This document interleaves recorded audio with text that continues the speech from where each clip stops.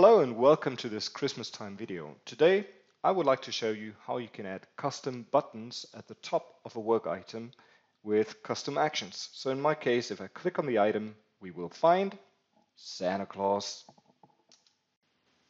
To create your own buttons, you will need to install the Velocity Form extension first on the server. Then you will need to copy the button bar title.vm script into the Polarion slash scripts directory.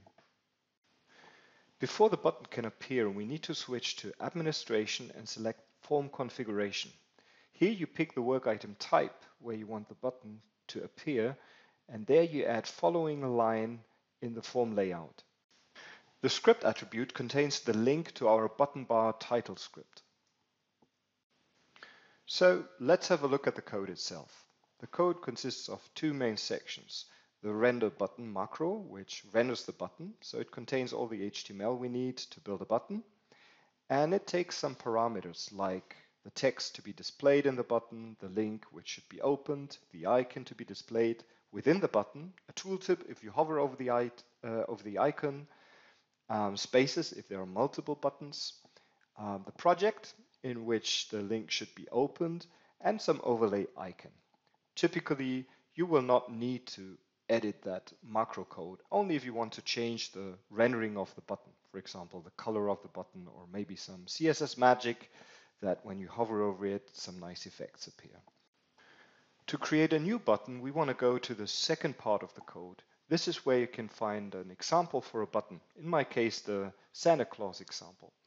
Just copy and paste the code to create a second button and then just change the parameters as needed. So let's change the icon first. As link, I want to open the coverage report provided by Polarion.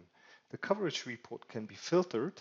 You can see there is an additional parameter that I can provide. So for example, I can provide the ID of a work item. You can see that at the top in the URL that the ID is passed. Let's copy and paste that link into our code.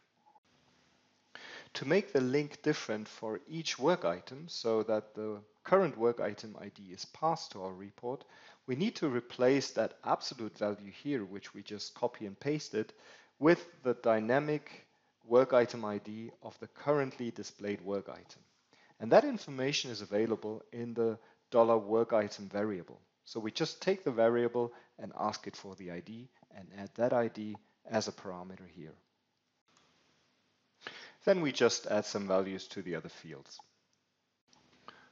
All right, let's see if it works. When we open a work item, we can see an additional coverage button, and when we click on the button, a filtered report is opened.